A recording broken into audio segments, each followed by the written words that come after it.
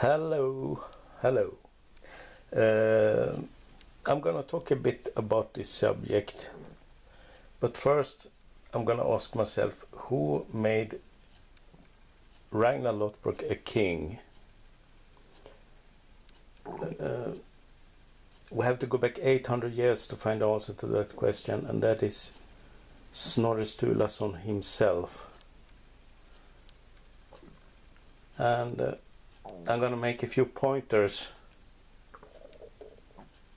trying to prove he was not a Swedish king. According to the Danish historian Saxo Grammaticus, Ragnar was a jarl. In Denmark, he was one of King Horek's jarls. So he, his sphere was not Sweden at all. And according to a French source, he died at King Horek's court.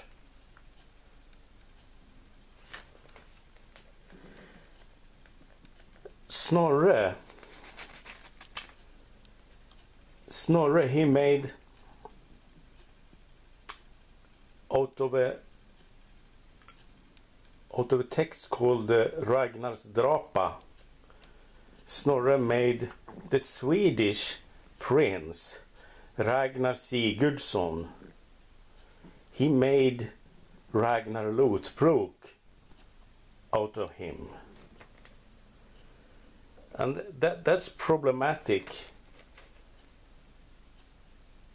Um, if you're gonna uh, make one person out of two persons that's gonna cause problems somewhere.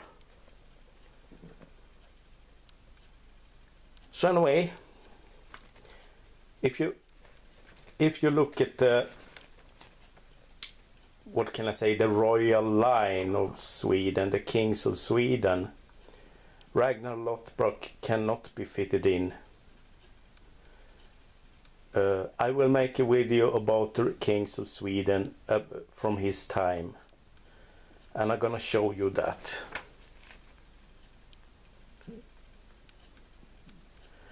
Well he was a Danish Viking. He, he was a Jarl and he was a war uh, chieftain. Uh, but he was not a king. But still according to Geni.com or uh, some such sites. He's presented like both the king of Sweden and Denmark.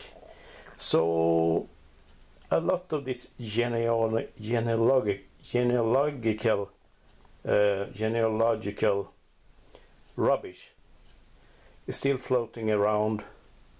And uh, if you just try to to try to make sense or try to uh, look at the sources that we have. You can see that the, this person has not has nothing to do with the Swedish kings. And uh, I don't know if I proved anything to you but uh, I'm gonna show you in an upcoming video so you might want to subscribe. So um, that was all I had to say for now. So I thank you for watching and I see you next time